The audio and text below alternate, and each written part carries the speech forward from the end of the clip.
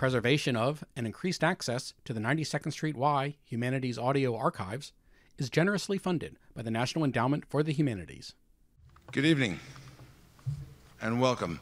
I'm uh, Daniel Stern, Director of the Humanities at the 92nd Street Y, and I want to welcome you to the second of our two part series, uh, sponsored uh, by the New Criterion, Distinguished Journal of Opinion.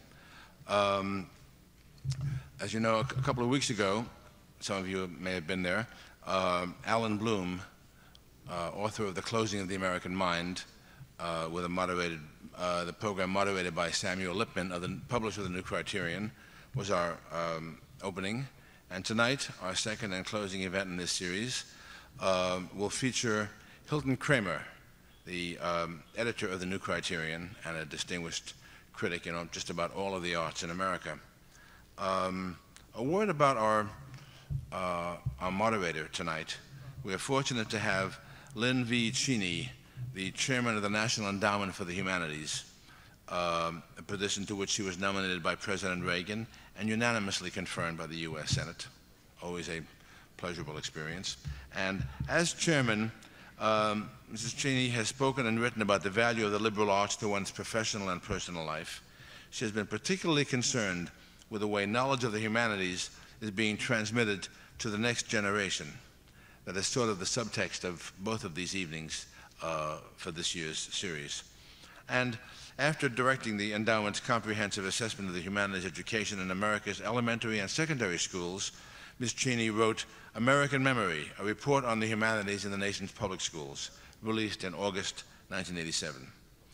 She is the fifth chairman of the National Endowment and also serves as a member of the Commission on the Bicentennial of the U.S. Constitution, has served. Um, before coming to NEH, Mrs. Cheney taught at several colleges and universities, was a magazine editor, a widely published author. She's written two novels and co-authored with her husband, Representative Richard Cheney of Wyoming, A History of the House of Representatives. Clearly, a woman of extraordinary range, um, a perfect moderator for a series that has a kind of ambitiousness about the nature of education and uh, the nature of uh, art and culture today. Uh, she's a native of Wyoming, indeed, and uh, earned her bachelor's degree with the highest honors from Colorado College and a master's from the U University of Colorado. She received a doctoral degree with a specialty in 19th century British literature from the University of Wisconsin and holds several honorary degrees as well. We are honored to have Lynne V. Cheney uh, introduce and moderate our program this evening. Please join me in greeting Lynne Cheney.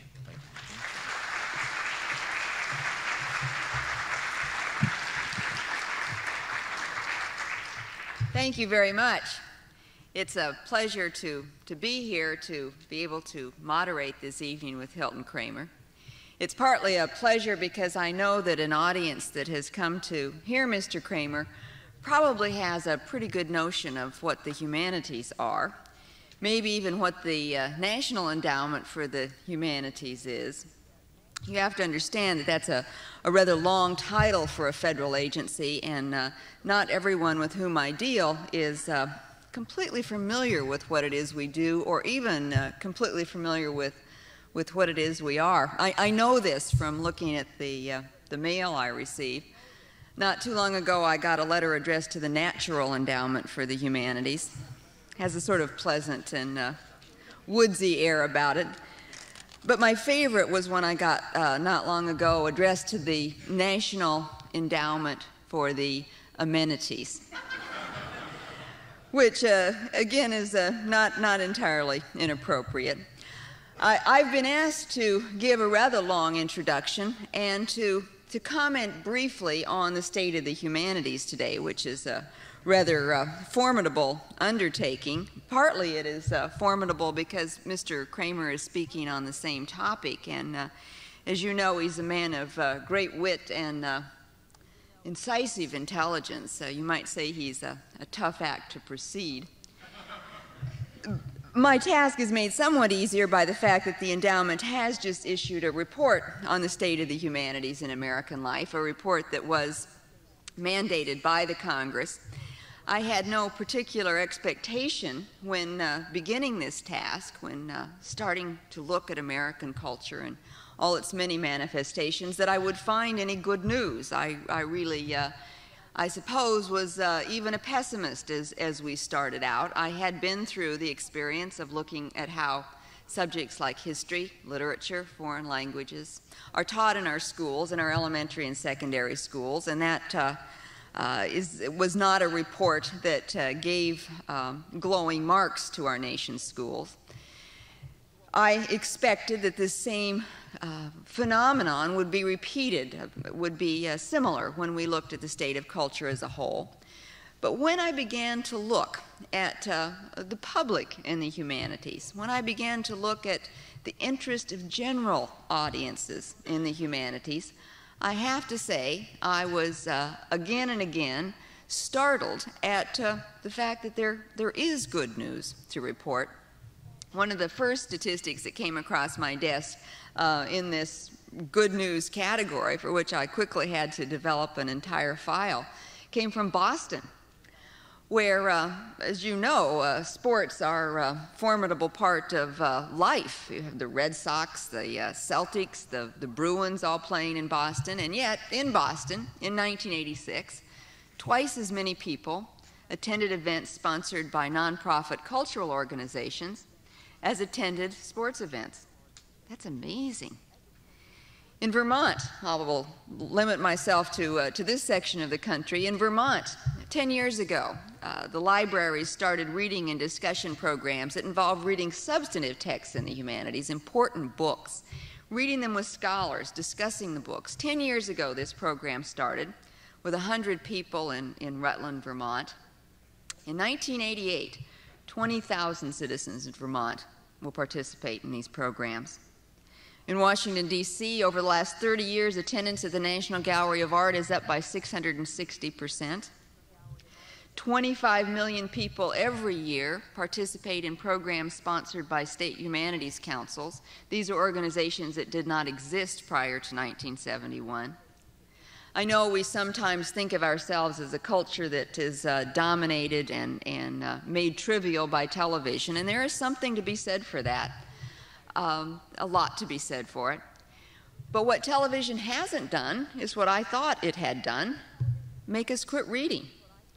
The statistics are really quite astonishing. In 1947, when uh, few homes, uh, fewer than one half of 1% of our homes, had television sets, 487 million books were sold. In 1985, when almost every American home had television, more than 2 billion books were sold. Now, you and I know that the print uh, medium is quite as capable as the uh, television medium of uh, producing trash, but there are many good books.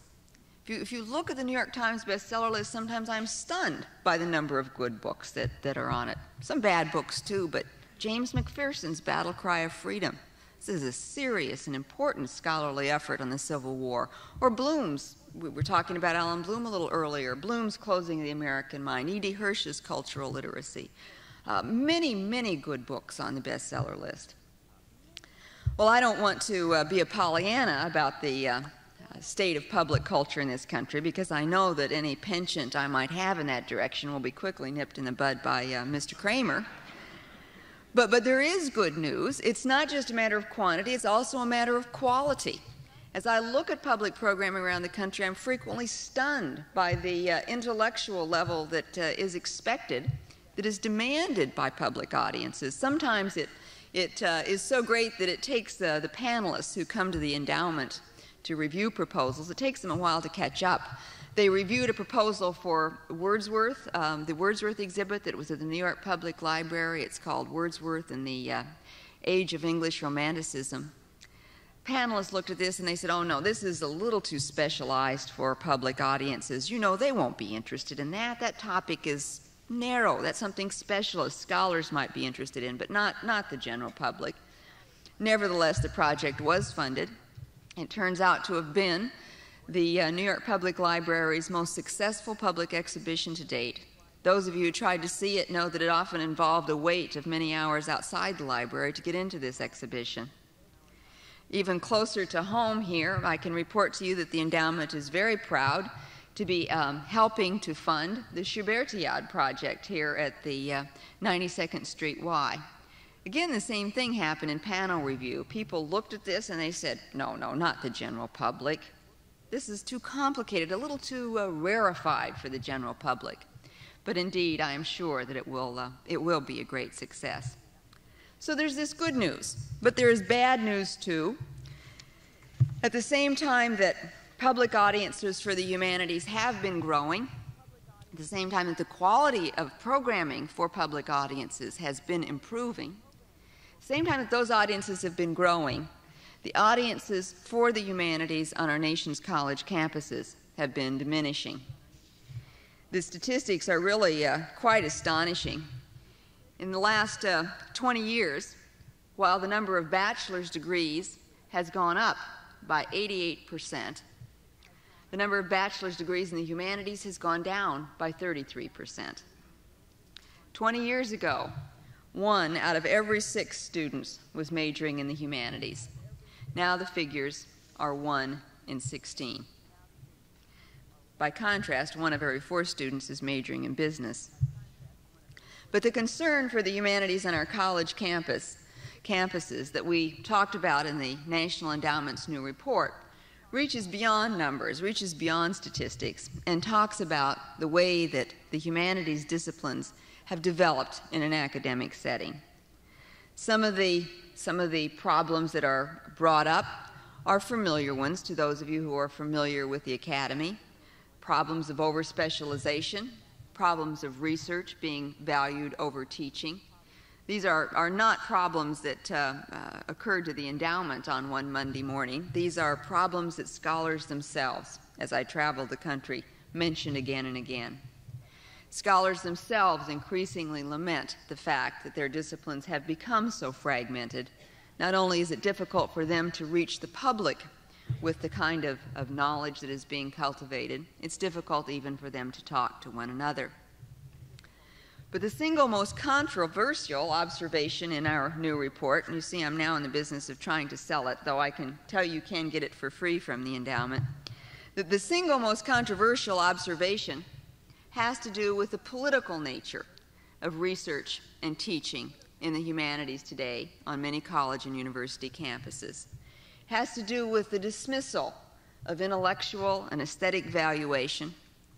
It has to do with the only valid approach to the humanities today having been declared to be a political one, having been declared to be one that deals only with questions of race, class, and gender. These are interesting questions, but they aren't the only ones However, the new approach to the humanities declares that they, that they are the only ones. It used to be that we would ask about a, a book, a text. We would say, Is this text rich for thought?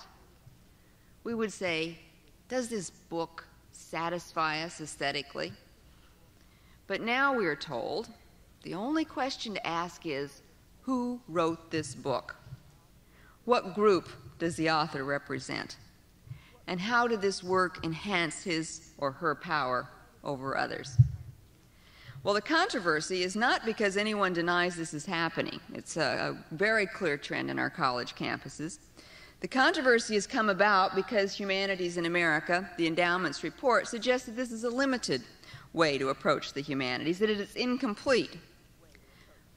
Controversy comes because advocates of this approach say that it is complete, that there is nothing else a few weeks ago at Duke University at a conference, the chairman of the English department there declared, or rather asked, rhetorically, once you have subtracted class, race, and gender, what is it you have left? And it was a rhetorical question because everyone at the conference agreed that there was nothing left, nothing at all. But there is much left. I feel certain of that. There are questions of truth, questions of beauty, questions of human concern. The humanities are about more than politics, about more than sociology or social power. What gives them their abiding worth are truths that pass beyond time and circumstance, truths that, transcending accidents of class, race, and gender, speak to us all. There's a passage quoted in, in the report that I think makes this point perhaps as eloquently as it can be made. It's a story that uh, Maya Angelou told a few years ago in, in Rapid City. I'm sorry, Cedar Rapids, Iowa. She went there in 1985 and gave a speech to a group. And uh, she told a story about growing up. She grew up in a, a, little town named Stamps, Arkansas. She told a story about growing up there. She was a child who loved poetry, who read widely. She read Edgar Allan Poe and Paul Laurence Dunbar and Shakespeare and Langston Hughes. She was very shy, though, and, and uh, had trouble had trouble uh, dealing with other people in very direct fashion. But when she was about 12, she got her courage together and she decided that she would do what people she admired greatly did, other youngsters that she admired. She would stand before the CME Baptist Church and she would recite a recitation, so the saying uh, had it, recite a recitation uh, and, and make, her, uh, make her debut. Well, she decided she wanted to do a scene from The Merchant of Venice, Portia's speech, and uh, she told her grandmother this is what she wanted to do. I had it all choreographed. It was going to be fantastic, she said, in Cedar Rapids. But then my grandmother asked me, Sister, what are you planning to render? I told her, a piece from Shakespeare. My grandmother asked, Now, sister, who is this very Shakespeare? Well, I had to tell her that Shakespeare was white. And Mama felt that the less we said about whites, the better, and if we didn't mention them at all, maybe they'd get up and leave. But I couldn't lie to her, so I told her, Mommy, it's a piece written by William Shakespeare, who is white, but he's dead. He's been dead for centuries. And I thought maybe she'd forgive him that little idiosyncrasy. But my grandmother said, Sister, you will render a piece of Mr. Langston Hughes, Mr. Countee Cullen, Mr. James Weldon Johnson, or Mr. Paul Laurence Dunbar. Well, Angelou said, I did. But years later, when I physically and psychologically left that condition, which is known as Stamps, Arkansas, I find myself and still find myself, whenever I like, stepping back into Shakespeare. Whenever I like, I pull him to me. He wrote it for me. And then she began reciting the, uh, I think it's the 29th sonnet. When in disgrace with fortune in men's eyes, I all alone beweep my outcast state and trouble deaf heaven with my bootless cries, and, and look upon myself and curse my fate, wishing me like to one more rich in hope, featured like him, like him with friends possessed. And then she stopped. Of course, he wrote it for me. That is a condition of the black woman. Of course, he was a black woman. I understand that. Nobody else understands it, but I know that William Shakespeare was a black woman. That is the role of art in life. And it seems to me that that is the transcendent role that humanities also ought to play in life. It seems to me that that is also an approach that deserves to be recognized and taught, no matter what cultural state we find ourselves in, whether it is one of calm or one of upheaval. And that brings us to our speaker a teacher, a critic, a man whose efforts to keep the debate about culture open and lively have never failed. Ladies and gentlemen, it is my great pleasure to present to you the editor of the New Criterion, Mr. Hilton Kramer.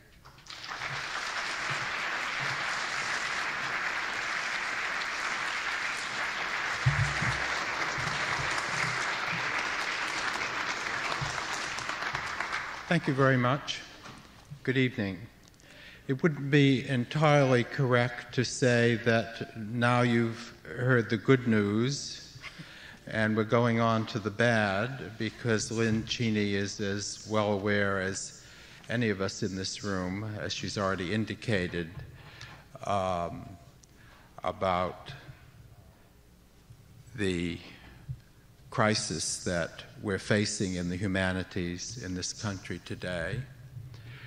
But um, being a critic, it perhaps is um, more my role to be uh, a little more insistent on the um, gravity of the crisis than uh, would be entirely possible if I bore the responsibilities of uh, the principal agency of our government, which has to preside over um, uh, this difficult uh, terrain.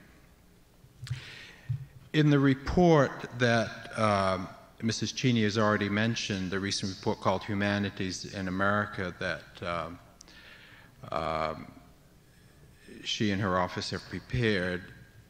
Early on, there is a quotation from Walter Jackson Bate, the great literary scholar and humanist at Harvard, um, who wrote in 1982 that the humanities, as he saw them, were then plunging into their worst state of crisis since the modern university was formed a century ago. I don't think there is any reason really to believe that Professor Bate was either exaggerating or that it's done anything but get worse in the interim. We have all been made vividly and painfully aware of the nature and scale of the crisis that has overtaken the arts and the humanities in the universities a crisis that has raised the question for some of us as to whether the universities in this country will have any but a negative and destructive role to play in the formation of intellectual life for the generation now making its entry into higher education. I want to speak here primarily about the study of the arts and the humanities, but it is in the nature of the crisis that has overtaken us that these fields, which are so precious to us for what they are in themselves and so central in transmitting from one generation to another the very idea of what our civilization is that these fields can no longer, in any attempt to defend their integrity, be completely separated from other fields, most particularly the social sciences, which have lately met with so little resistance in their imperious drive to annex the arts and the humanities to their own domain, and to which, I regret to say, the arts and the humanities have already surrendered so much. Today, indeed, we look upon a situation in which entire areas of the arts and the humanities have been lost to the social sciences. Lost, really, as Mrs. Cheney has already indicated, to the radical political agenda of the social sciences. So much is this the case, and so grave the consequences, that we now have reason, I think, to look upon the social sciences as a kind of academic gulag to which, on one campus after another, and in one learned journal after another, the arts and the humanities are being sent for what in other parts of the world it is customary to call re education or rehabilitation. In other words, brainwashing. There are, to be sure, certain pockets of resistance to this runaway trend, but by and large, what we are seeing in the academy is the wholesale capitulation to an idea and an ideology that has as its goal the complete destruction of the arts and the humanities as independent and autonomous fields of study which derive their standards, their methods, and their vision from the artistic and humanistic achievements that called these intellectual disciplines into existence in the first place. I am not, however, going to devote my remarks this evening primarily to a description of the melancholy fate that has overtaken these fields, not only in academic life, but in the larger cultural and intellectual world outside the academy. Most of you here this evening have already heard enough and read enough about the horrors that are being visited, visited upon these critical and scholarly disciplines as a matter of academic routine. And so widespread is the awareness that even um, the New Yorker has caught up with it this week with a cartoon that I must say is far in advance of the written matter in the New Yorker as regarding these questions. The cartoon this week pictures um, a couple sitting in their living room with their dog, and the wife is reading uh, a, their daughter's report card um, to her husband from, we must suppose, one of our more uh, eminent uh, colleges or universities. Sarah's grades, uh, she says, are excellent. She got A plus in Yogi Berra, philosopher or fall guy, A in dollars and cents, an analysis of post Vietnam perfume advertising. A minus in the final four as last judgment, the NCAA tournament from a religious perspective. And A in the American garage sale, its origins, cultural implications, and future. Now, clearly, Sarah attends a very benign campus because there are many worse things, and they don't exist in the realm of comedy either, uh, being foisted upon such students in the name, uh, even in the name of the arts and the humanities, every day as we know. If we didn't know about this from the newspapers and magazines, Many of us would know about it from the phone calls we receive quite regularly from anguished friends and colleagues, both in and out of the academy, crying out for help in warding off the still greater horrors that they see in store for them uh, down the way. The courses that now substitute Hollywood movies for classic texts that scrapped the study of Western civilization for a whole variety of politicized ethnic, racial, and gender studies, that systematically liquidate the very concept of art and scholarship in favor of a so called materialist, which is to say, an economic and political analysis of the conditions of the production of the arts and the humanities News of these developments reaches us every day in accelerating numbers, and all too often we follow these reports with the same kind of numbed and sinking feeling that we experience in following the news of some devastating hurricane. We know very well what kind of destruction follows in the wake of these disasters whether they occur at celebrated institutions like Harvard and Yale and Stanford and Duke, or at many less celebrated schools where the corpses are quietly defeated and are buried without notice or regret. Describing these ghastly developments is important for with any plague that threatens to destroy something vital to our existence, our first obligation is to gather as much intelligence about it as we can and issue information about the means of surviving it. But speaking for myself anyway, and for some of my colleagues both at the New Criterion and elsewhere, for we are not entirely alone in this matter, I think the time has come to move the discussion to another stage.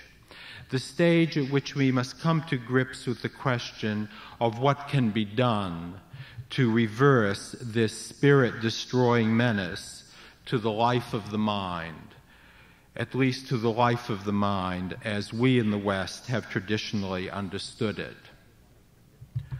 What then can be done?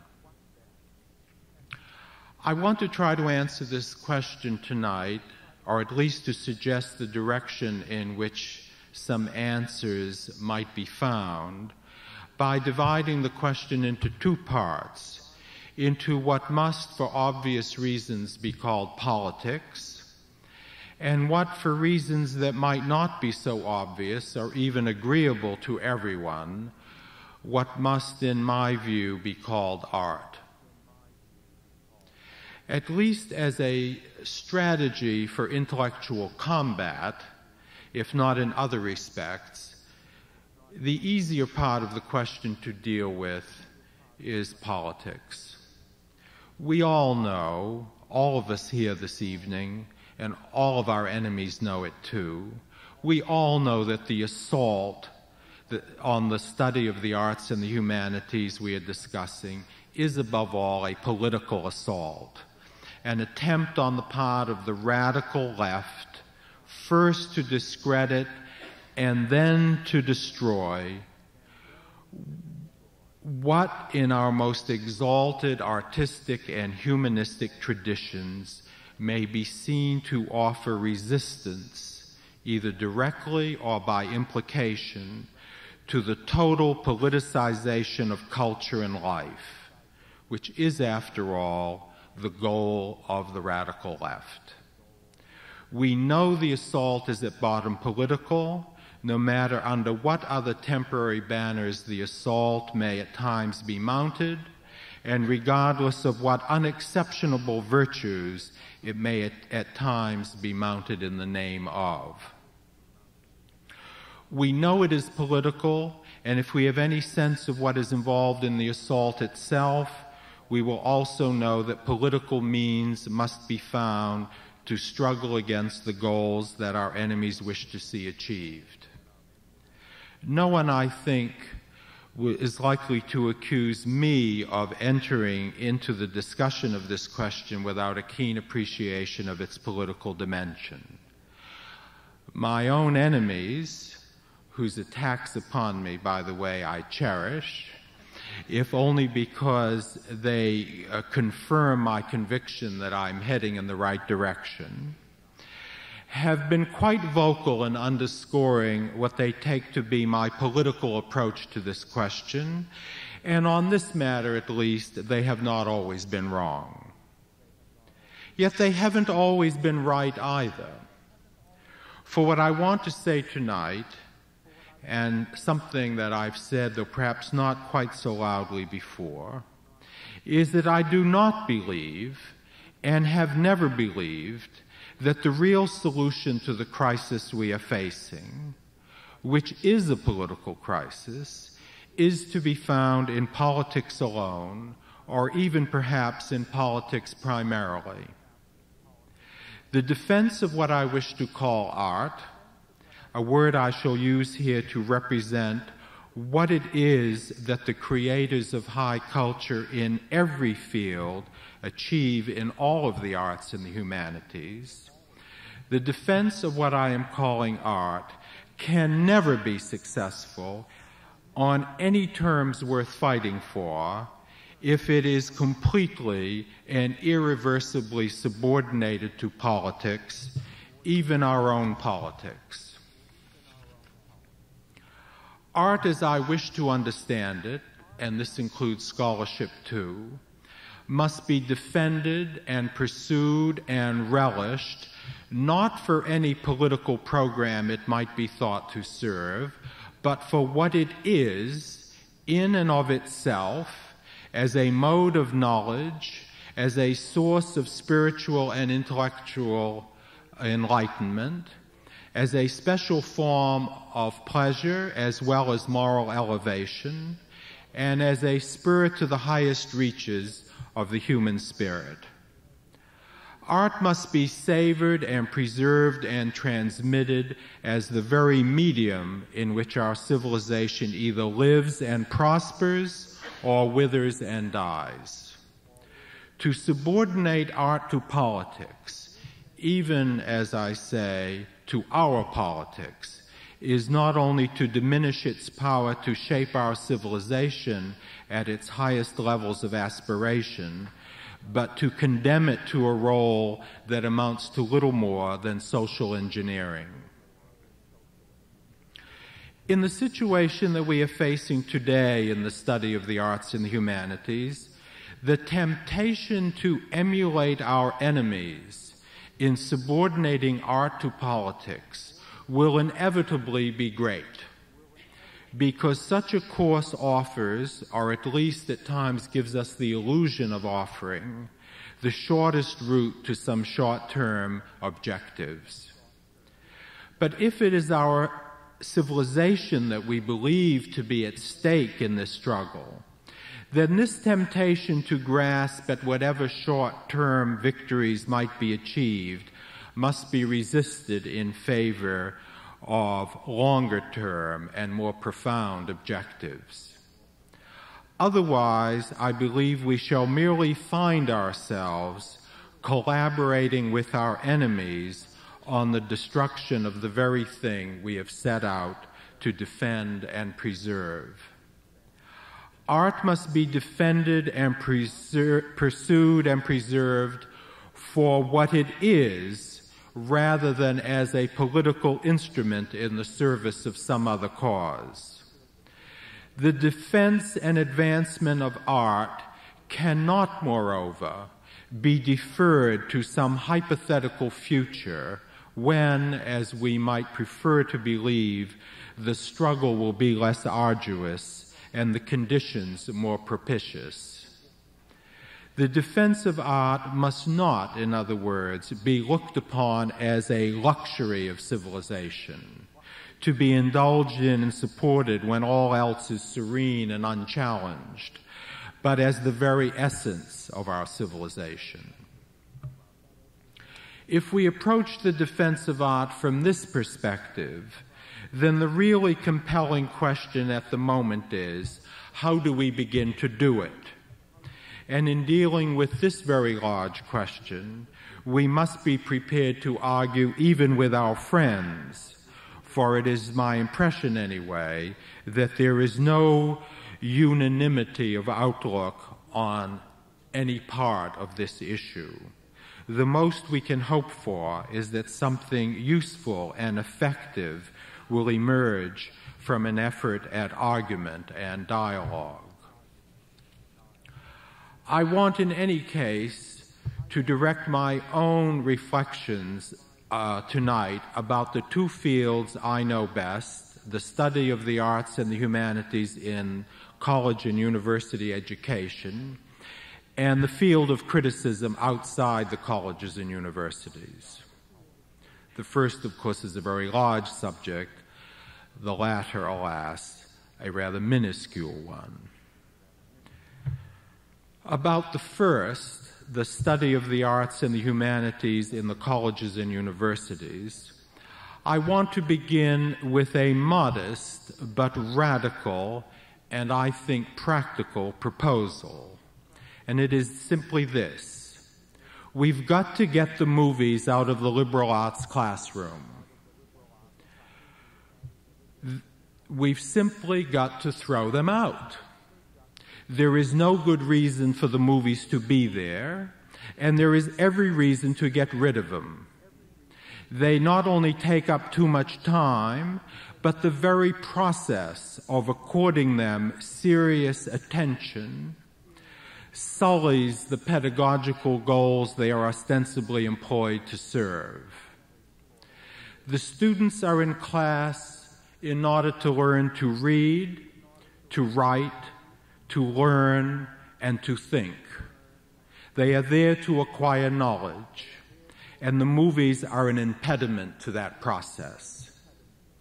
Students are going to go to the movies anyway. and to bring these movies into the classroom, either as objects of study or as aids to study, is to blur and then to destroy the kind of distinction, the distinction between high pulp culture and popular culture, that it is now one of the functions of a sound liberal education to give our students. Following from this, I believe that all forms of popular culture should be banned from courses in the arts and the humanities. Typically today, students arrive on college campuses already besotted with the trash of popular culture. And it must now be one of the goals of a sound liberal education to wean them away from it. Or if that is asking too much, I don't really think it is asking too much, but if it really is, then we can at least hope to educate our students to perceive what the real differences are between high culture and the trash that impinges on so much of their leisure time. Under no circumstances, in any case, should the arts and the humanities lend their prestige to the certification of popular culture as a legitimate field of liberal studies. The study of uh, popular culture is actually a curse that we have inherited, that is, the arts and the humanities have inherited from Marxist inspired sociology where it began anyway as a means of studying the evidence of the way capitalist society corrupted its members. The Frankfurt School, I suppose, uh, was the zenith of that particular uh, way of studying popular culture, and it has exerted uh, a great influence. But for the arts and the humanities to surrender to this concept of our civilization, which is basically a Marxist and social science concept, is to guarantee a, is a guarantee of failure for what it is the study of the arts and the humanities ought to give our students. I think it follows from this, moreover, that we must make an effort though it is uphill work to do so, to rescue the study of the arts and the humanities from the baleful influence that the social sciences themselves continue to wield in such devastating results. This effort to draw the line between high culture and the social sciences will be, if anything, even more difficult to achieve than any attempt to expel the movies and other forms of popular culture from liberal education. For many critics that we admire, from Taine and Arnold in the 19th century to Edmund Wilson and Lionel Trilling in ours, have done important work, work that is central to our understanding of modern culture, by introducing ideas drawn from the social sciences into literary study. And we have all learned much from them. I certainly have. And they offer, uh, and they often have offered us a kind of intelligence about life, if not always about literature, we would not uh, want to do without. Yet I think we now stand in such a radically different relation to our artistic and humanistic traditions, such a totally different relation from that in which um, Arnold or Trilling stood. Our students, and probably much of our faculty too, if the truth be told, are now so distant from and so ignorant of the central artistic and humanistic works that constitute those traditions. We are really so distant from the basic materials of those traditions that I believe we must seriously consider revising our ideas about the place to be accorded the social and economic history of the arts and the humanities and concentrate instead, a far greater emphasis on a study of the works themselves. The truth that must now be recognized, I believe, is that the social history of art can mean nothing but politics to minds that are basically ignorant about what art is in itself and what it isn't.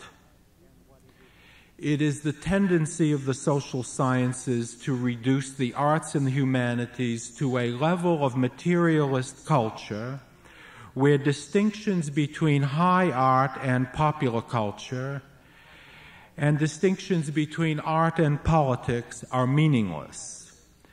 And at that level, what art is itself can no longer be discussed for it is seen to consist of nothing but the sum of its social and economic attributes.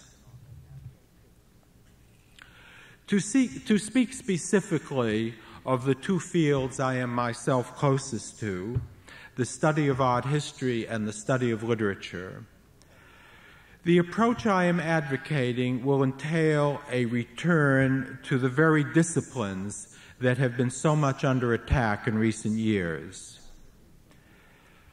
So much under attack that in many of our leading academic institutions they have all but disappeared. In art history, it will mean the revival in the tra- training and connoisseurship, the close comparative study of art objects with a view to determining their relative levels of aesthetic quality. This is a field in which our country could once boast of great achievements and indeed pioneering achievements. From Bernard Berenson to Alfred Barr to Sydney Freedberg, we have indeed produced some of the greatest connoisseurs of Western art the world has seen. And their achievements and influence have greatly enriched our institutions and our lives enriched them with aesthetic intelligence of the highest order. But these great names, I regret to say, represent a dying intellectual enterprise. It isn't quite dead yet, but the prognosis is grave. In this respect, Sydney Freedberg's departure from Harvard earlier in this decade was for many of us a symbolic event, for it marked something more than the exit of a single great scholar from the institution that had virtually created the concept of connoisseurship in American cultural life. It represented the collapse of a tradition and the takeover of an institution by minds determined to transform the study of art history into a form of social science, which meant, of course, nothing less than the annexation of art history to the political service of the radical left. In the study of literature, the situation is equally grim, perhaps even grimmer in some respects. And in this field, there must also be a revival of what constituted, uh, I believe anyway, the closest analog we have had in literary study to the tradition of connoisseurship in the visual arts, namely the new criticism.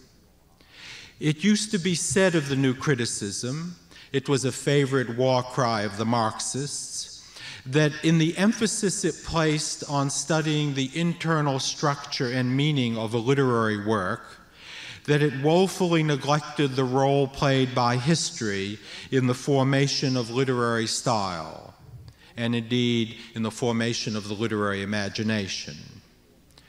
From my own studies with Allen Tate, Randall Jarrell, and others, I know this not to have been true, and it would be nonsense in any case to claim that Southern writers like Allen Tate, Robert Penn Warren, who themselves wrote nonfiction historical prose works early in their career, uh, were insufficiently aware of the role of history in the creation of literature.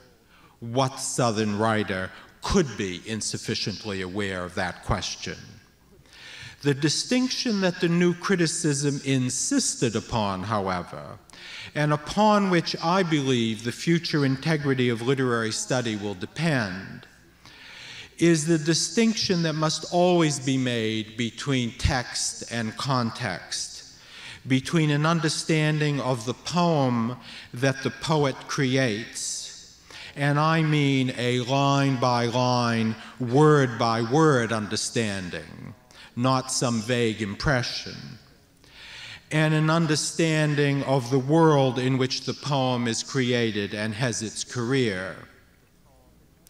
Without a revival of something like the emphasis, the priority that the new criticism placed on the analysis of the individual literary work and on works of the highest literary distinction, the study of literature in our universities will be little more than a study of rumor, reputation, and ideology. Without that emphasis on understanding the internal workings of great literature, its content, including its moral content, can only be taken on faith. And in the present context of literary study, we know that that faith will inevitably be a political faith. It was for this reason that Brooks and Warren called their great textbook understanding poetry, for without a close, detailed understanding of what the poem is and says and how it says it, what is it that we can pretend to have understood about it? The new criticism taught us to read the great works of our time and of all time. And in literary study, now and in the future, there is, in my opinion, no alternative to it. In turning to the field of criticism of the arts and the humanities outside the classroom, however, the situation we face is equally dismal, but perhaps a little more complex. For there is, first of all, very, very little being written and published today Of course, I exempt the new criterion, uh, that may legitimately be called criticism. Instead, there is an avalanche of political discourse masquerading as criticism. This being the case, I think that criticism must be obliged to, fright, to fight a two front war to advance the interests of connoisseurship and quality in its analysis of particular artists, writers, and scholars, but also to engage in whatever critical combat may be required to set the record straight and keep it straight about the way politics has been allowed to distort artistic judgment and betray whole areas of intellectual inquiry. Once again, I am not suggesting that this problem of political discourse masquerading as serious criticism will be solved by substituting our politics for those of our enemies.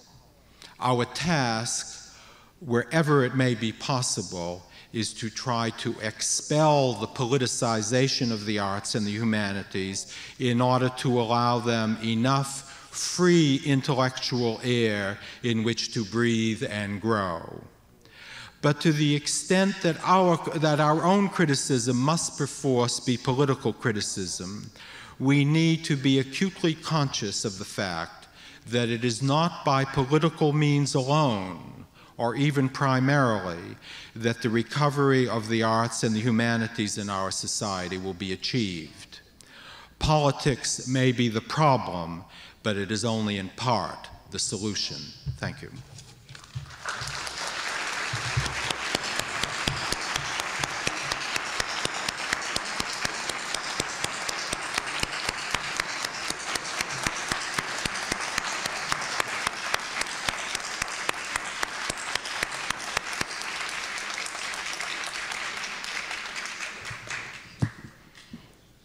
It's uh, my privilege to uh, open a little period of questioning with you. As soon as uh, I get my crack, uh, you get your uh, chance at him. I think it was a sufficiently inflammatory talk that you'll have some uh, questions from the audience.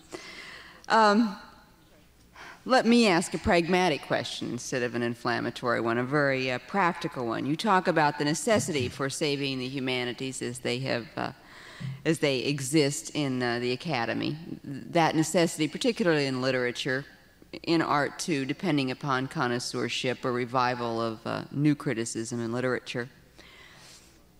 But how is this going to happen?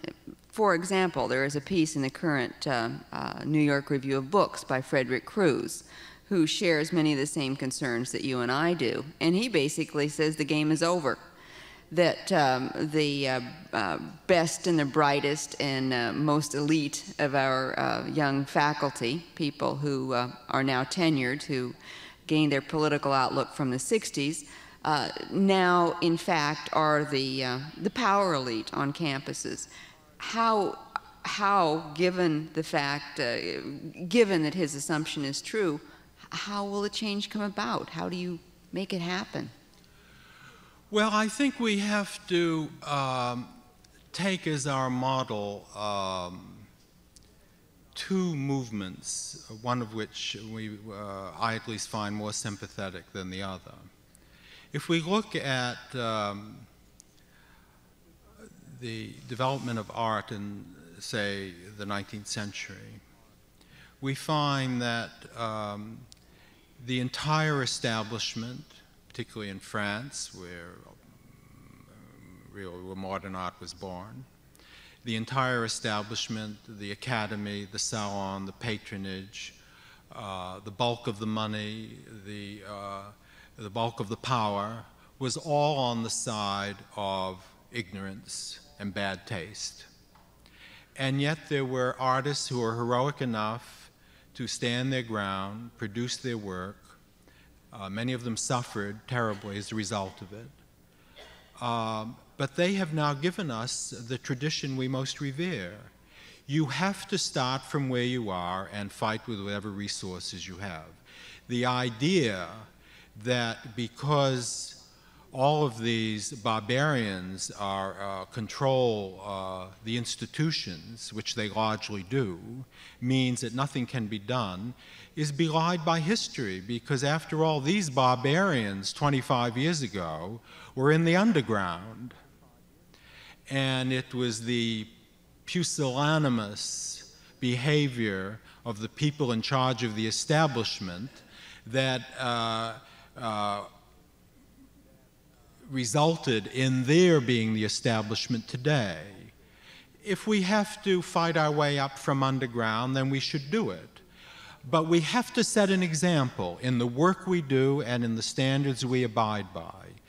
That is the only way you can begin. It's piecemeal, it's difficult, you, the victories are very small and uh, easily lost, but you win it, you win this battle inch by inch, and there is absolutely no other way to do it because the people running the establishment, uh, the academic establishment, and the publishing establishment are not going to surrender voluntarily. You have to, one, both fight them at the highest levels, and it also helps to make them look ridiculous. Let me suggest another historical parallel. You drew one.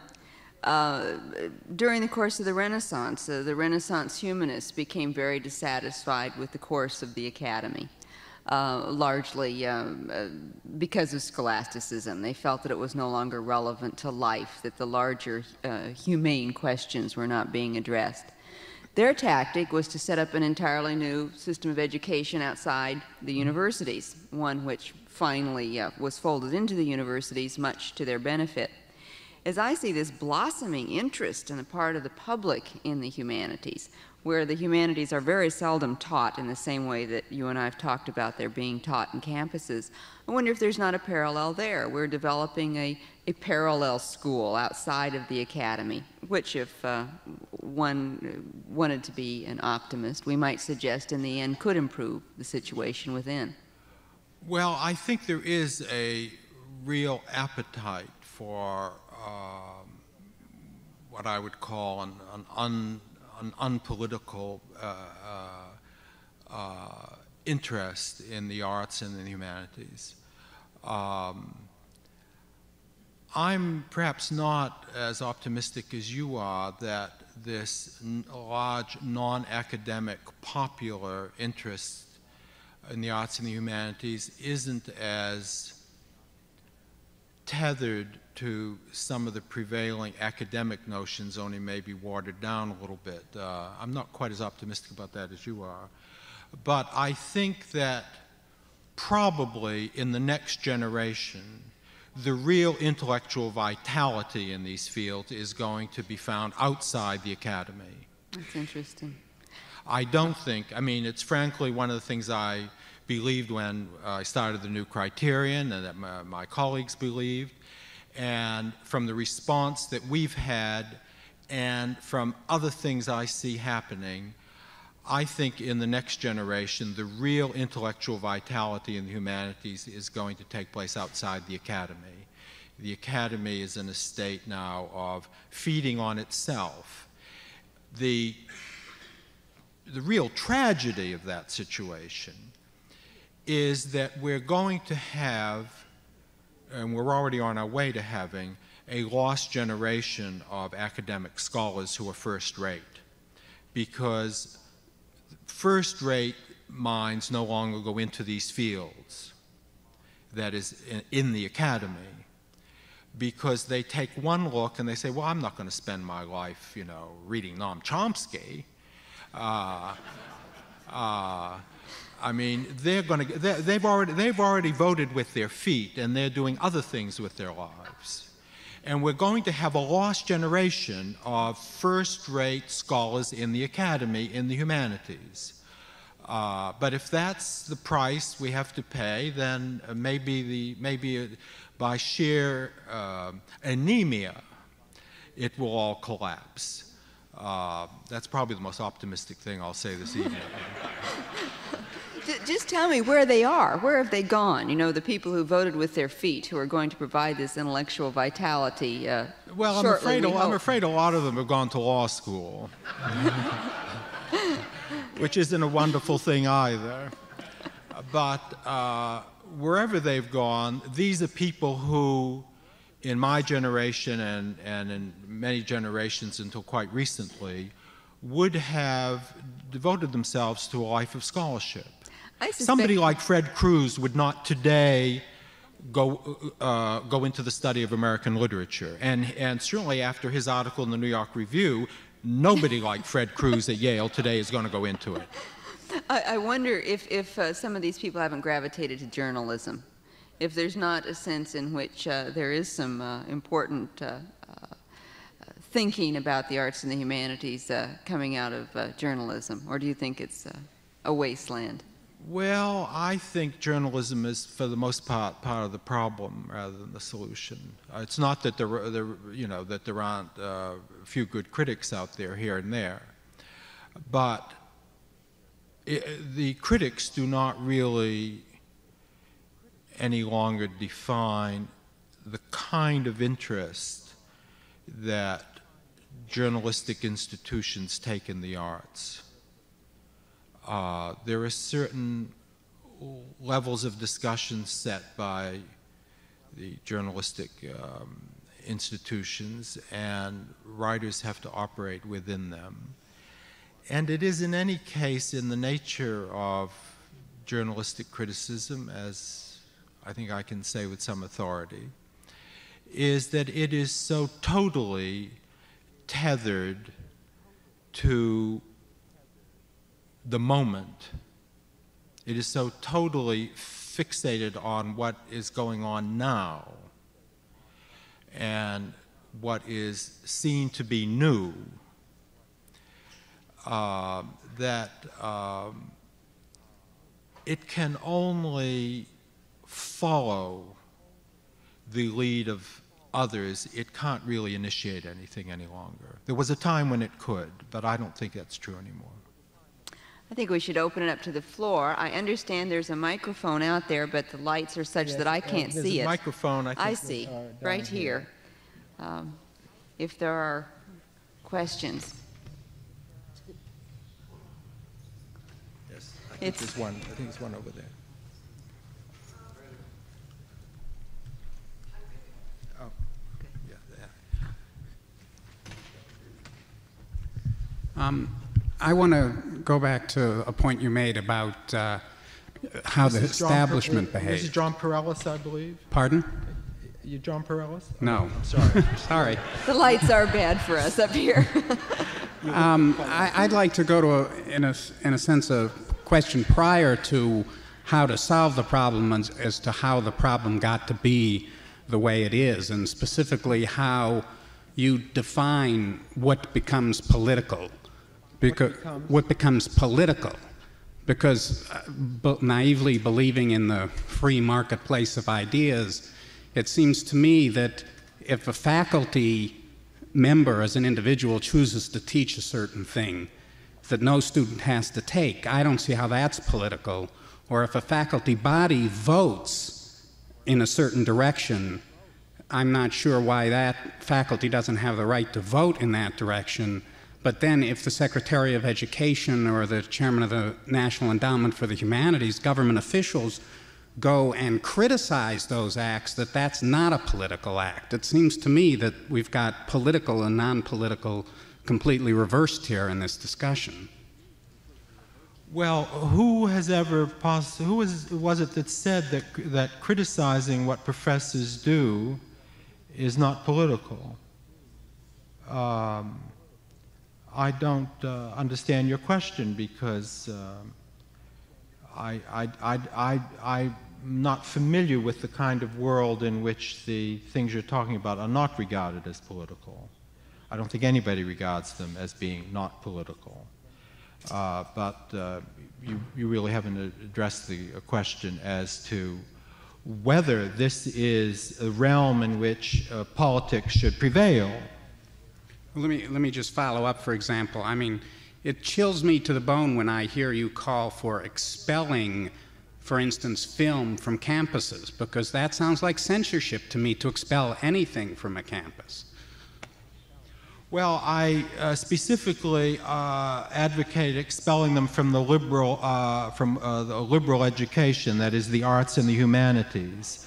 If uh, the sociologists want to go to the movies, if the acting school wants to send students to the movies, that's okay with me. Uh, but I was very specific about from what they should be expelled.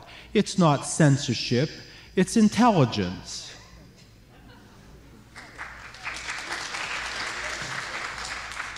Yes.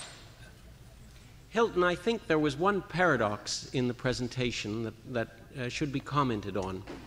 Um, and it's, it does not, um, it strengthens your thesis, I believe. Uh, nonetheless, it wasn't touched on. The politicization of the humanities and of the arts occurred, as you said, as part of a political activity of a radical campus, uh, really which came to the fore in the two, in the two decades since the 60s. Uh, the point is that the general ideology of that view, or the point I'm trying to make, is the general ideology of that view was you capture the campus as a sanctuary or as a bastion from which you can politicize the society. You don't wish to teach Marxist criticism of Shakespeare for the sake of teaching Marxist criticism of Shakespeare. You do that for the sake of making the revolution. In that sense, it, the goal was a, a totalitarian or radical political goal. Uh, based on certain assumptions about the nature of progress in society, about the future, about the way the arts would develop in a socialist society. Now comes the irony that part of the program has been uh, abandoned or has been uh, seen as hopeless. After all, if, if Gorbachev and um, Deng in China are arguing against socialist culture, and even Yugoslavia, which was all held up, is, the idea of saying, but we're going to achieve a socialist culture in America or in the world, ceases to be uh, the political function of the university. Even Noam Chomsky, referred to, though he still believes in this as a sort of regressive Canaanite militant Trotskyist, doesn't really believe in, in the sense that from MIT he's now going to achieve in the third world socialist culture.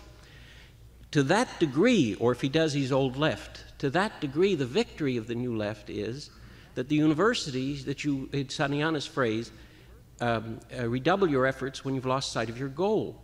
Because the victory of politicization on the campus, uh, the deconstructivist victory, that if Marxism is wrong, then anything goes, there, any interpretation is right, the victory of that on the campus, the victory of that in politicizing the campus, is done without the goals of politicization of the whole culture or indeed of the radical achievement of a socialist society.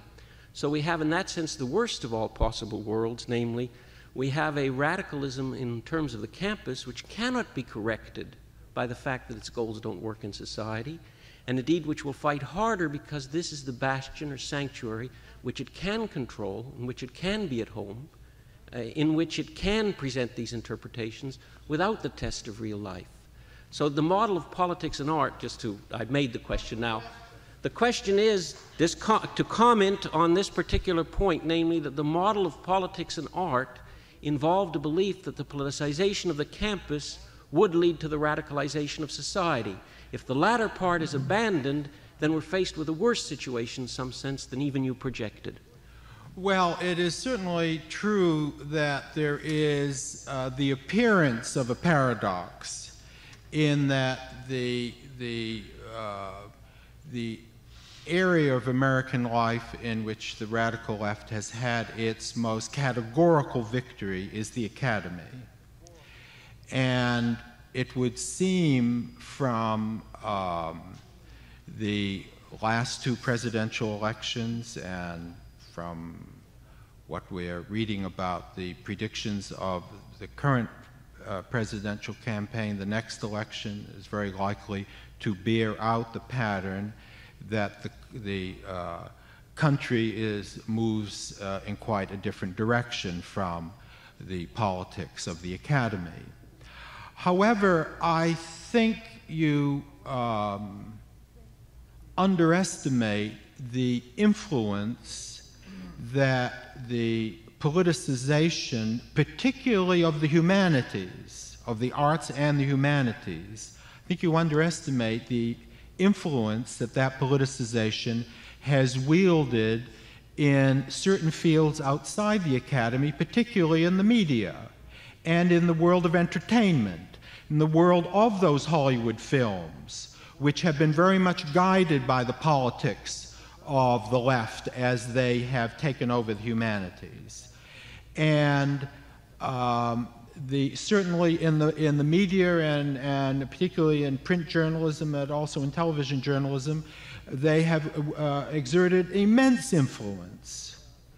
Uh, now, again, we've all, we all are aware of the tremendous gulf that separates uh, the views of the media from uh, the, say, the electorate at large.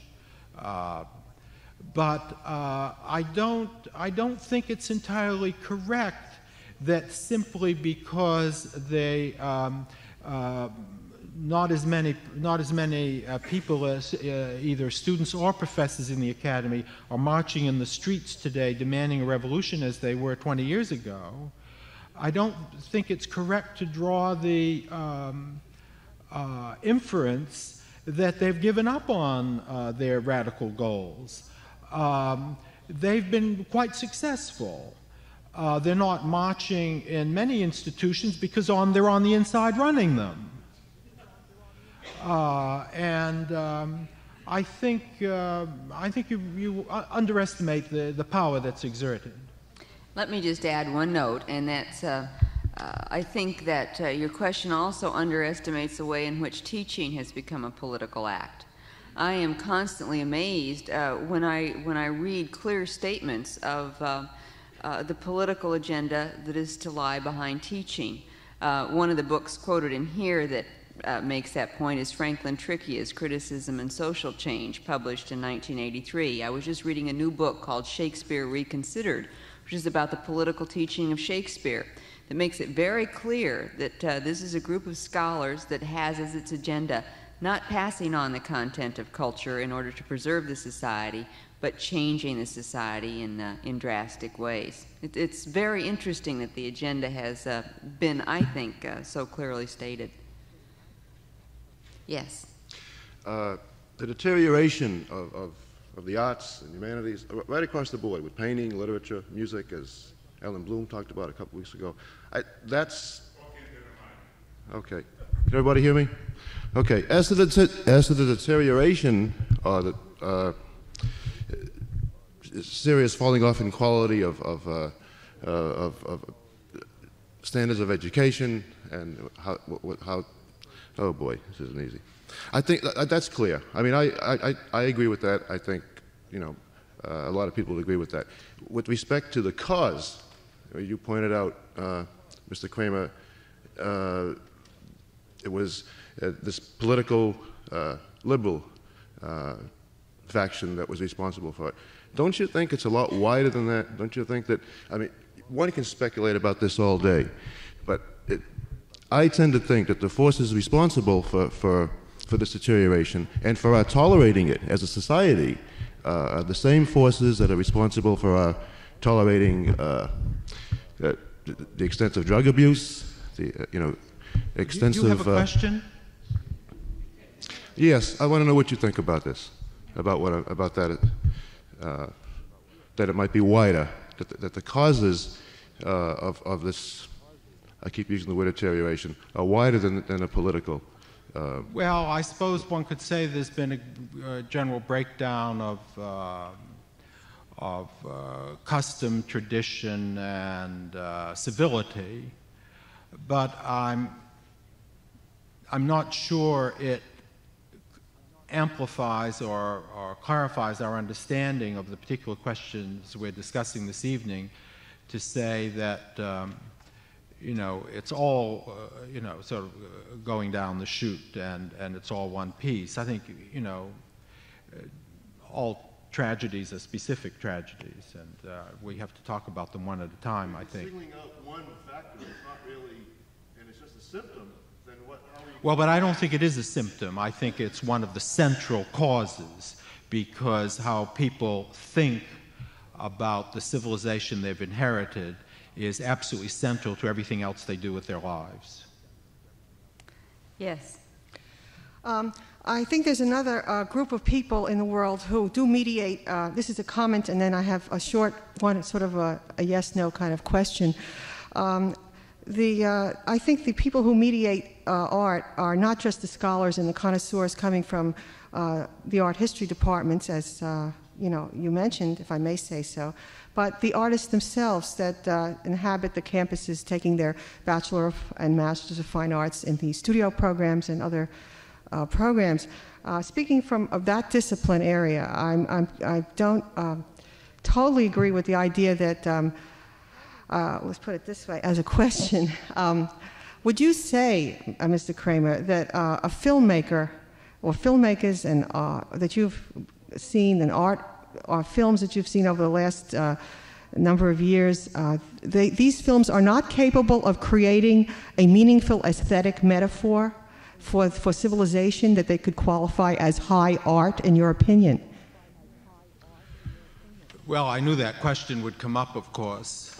Yes, there are some films uh, that uh, I would uh, certainly want to embrace as works of art.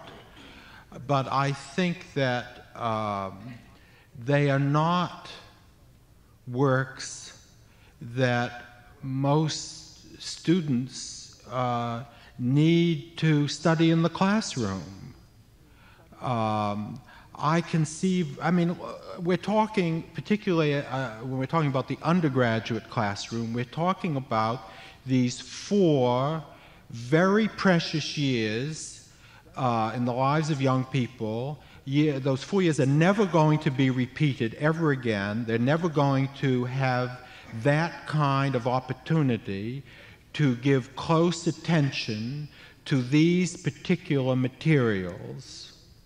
And anything that distracts them, anything that, that corrupts their intercourse with the task of learning to read, write, learn, and think as I see it, is an interference. It doesn't mean uh, that there are not uh, some marvelous films out there that are great works of art. Um, I mean, to me, a film like Renoir's Les Règles du Jeu is better than most of the novels that were written at the same time.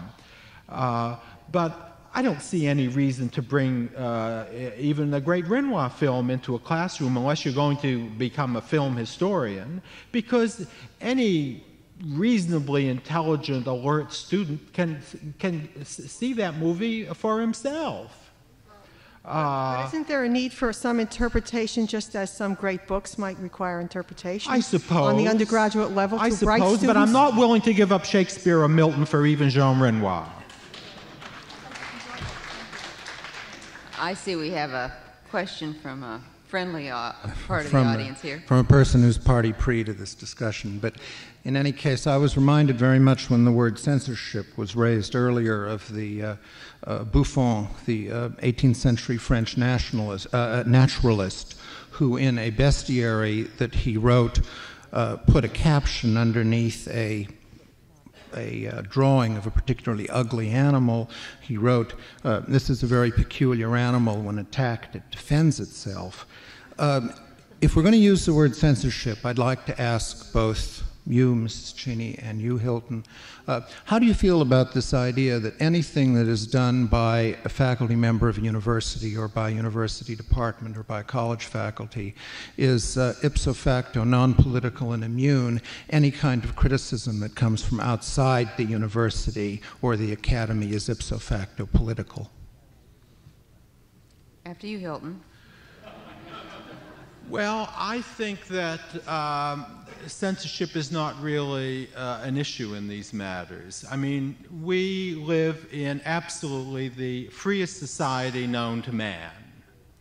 The idea that it's censorship, that I'm advocating censorship because I'm saying we should keep films out of the classroom or popular culture out of the liberal arts classroom. Uh, is ridiculous. I mean, I'm not saying we should close the theaters. I mean, you know, there's a period in English history when they did close the theaters. Now, that I think was censorship. Uh, but I'm not advocating that they close the theaters, they stop making movies. People can spend as much money on them as they want. Uh, the uh, New York Times can go on praising them. Um, uh, uh, there's, there's censorship, uh, there's nothing involved in censorship. But the, the odd thing is that if you're going to introduce the concept of censorship into this discussion, what we, both uh, Cheney and myself, have been discussing all evening is the kind of censorship that has been imposed on academic life by a certain kind of political agenda they have censored the study of art as art. They have censored the study of literature as literature. That's the real censorship problem we're dealing with today. There is more intolerance in the liberal arts classroom today than probably ever before, at least since Darwin became an issue in American academic life. It couldn't be uh, better said. I couldn't agree more. When the chairman of the Duke English Department says that there is no proper way for anyone to approach a work of literature except through questions of uh, race, gender, and class, I think we uh, are in a situation where uh, the dialogue is not free and not open. Yes. Uh, I'd like to ask uh, both of you whether you think religion has a function um, by way of anchoring or tethering some of the uh, very important things you've talked about as being in danger of being eroded. I sometimes have had the impression that um, there's a, a, the crisis is such that only, at least for certain spirits, only um, religious faith um, can perform that anchoring function, and that where the world I grew up in in the the 40s and 50s, um, where humanities and what Lionel Trilling and uh, so on wrote about, um, there seemed to be a natural effectiveness to uh, the view of human life and reflection that they represented and that Mr. Kramer tonight and uh, you you know, spoke of. But I don't think it has the natural, if you almost want to call the natural effectiveness of that kind of operation of intelligence. Um, for example, I'm, I do not have the confidence, although I love the model of the, the 19th century French artists and their uh, struggle and what, what wonderful gifts they gave us through that. I'm not sure in this uh, milieu it would have that effectiveness, and so I'm sometimes am, uh, inclined to look toward religion as a kind of tethering of it. That the, uh, the humanities themselves, without that transcendent link, um, seem more fragile now than they did when I came of age in the 50s. Well, what religion?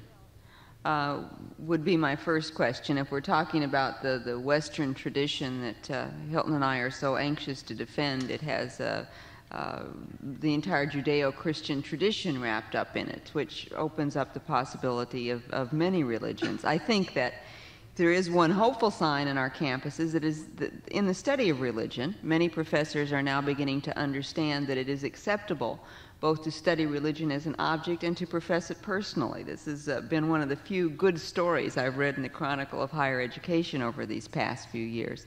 And for some people, I think that, uh, that the humanities, particularly when it's involved with the study of sacred texts, uh, can be intimately involved with religion. But I think for all of us, it ought to be intimately involved with human questions, with those great questions that texts take you to if you quit looking at them as sociological documents. What is the nature of virtue? What is the nature of duty? What difference does it make if I behave in a, a virtuous way or not? The humanities take you there if you let the texts speak to you instead of um, mediating them through uh, historical commentary. Well, I, I think that um, the question that's raised is a difficult one because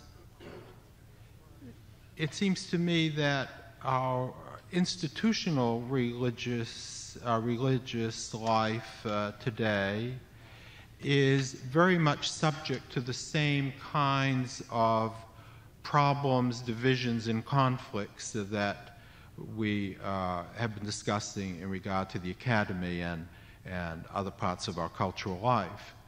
Um, I don't think there's any uh, blanket way to suggest uh, as there once was in an earlier generation, that uh, even organized religion in the United States stands for uh, uh, some kind of fixed uh, body of, of belief, certainly not uh, as regards those basic issues. I have a very vivid recollection of, of an experience I had in the 70s of being invited to um, give some lectures at Creighton University in Omaha, Nebraska, uh, to help uh, them celebrate the centenary of the founding of Creighton University. Well, Creighton University is a Jesuit university.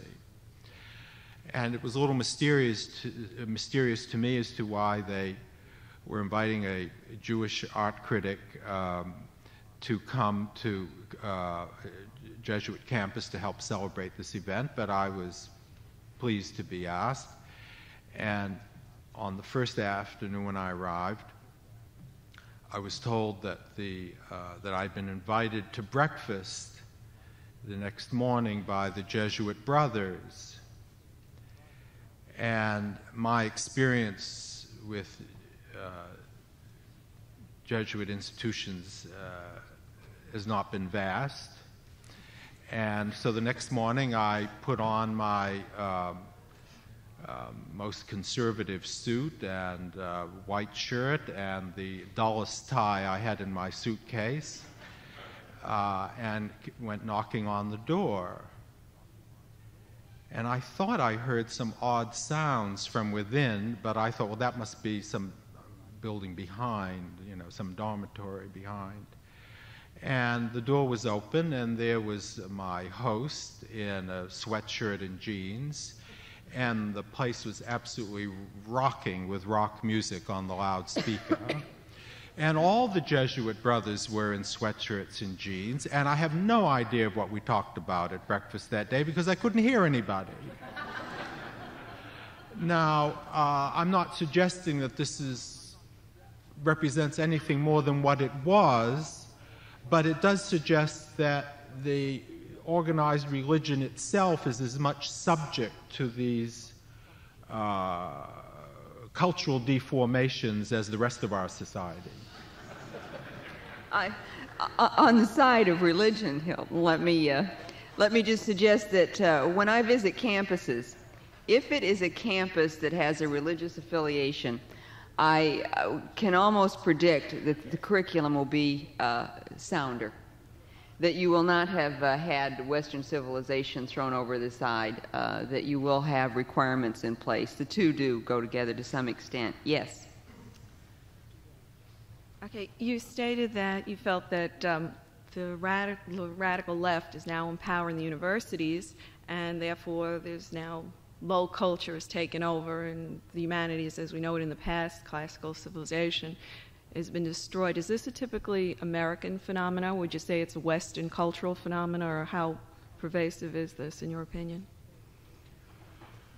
Well, as nearly as I have been able to find out, it's more rampant in uh, American academic life than it is elsewhere.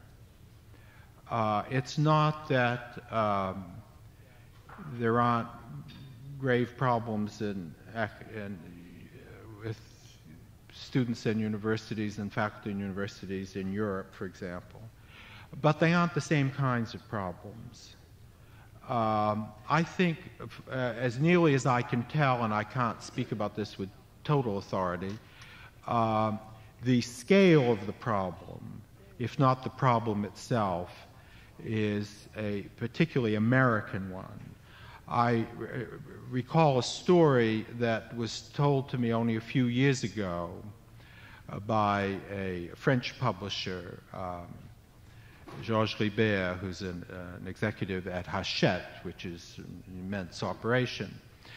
And he told the following story that uh, while the left was still uh, reigning over uh, French intellectual life as they had for uh, in the period of Sartre's great influence and so on, uh, one of the subsidiaries of Hachette that does academic books had commissioned a whole series of books with titles more or less like uh, Marxism and tennis, Marxism and nouvelle cuisine, uh, Marxism and birth control, and so on. But by the time the manuscripts came in, uh, there had been a great turnaround in French intellectual life, and the left was out. And so suddenly, this, the, this great publishing enterprise had all these manuscripts, uh, and it didn't know quite what to do with them. And the chairman said, Gentlemen, there is only one solution if we are going to get back our investment. We must translate these books into English immediately and ship them to America. uh, so I think that does tell us something. Uh, and by the way, it's a true story. We have time for one more question. Okay. I have a, a quick question. Well, what is wrong, what is wrong with um, having many interpretations of uh, a field of art? For instance, why can't we have a political view of art and a humanistic view of art? Why does one necessarily exclude the other? Unless you can, have, one, unless you can prove that one view is wrong, I see that both can flourish. Well, it would be wonderful to have many points of view, but it is unfortunately the practice of the uh, uh, politicized scholars that I've been describing to uh, expel any point of view that does not conform to their own. And what you saw at Harvard, for example, um, when Timothy Clark came in and took over the Department of Art History, is that the students were, um, let's say, persuaded not to sign up for Sydney Freedberg's courses. Uh, and suddenly, the professors who were not following the Marxist line, the social science line, found they didn't have any students. It would be wonderful to have a great variety of views and argue these issues in a perfectly civilized uh, manner. That's the way it always was. It wasn't as if there weren't any Marxists in art history departments before uh, Clark came to Harvard. After all, we had Meyer Schapiro at Columbia for decades. But the whole term of the, what you might call the level of academic civility was totally different. These are, these are activists. They want to take over their departments. They want to take over their institutions. And they drive out the people who disagree with them or oppose them. I mean, that's the nature of the issue. You can't have a dialogue if one person is on the inside running things and the other is in the street. That's why. I'd like to, uh, please. Uh,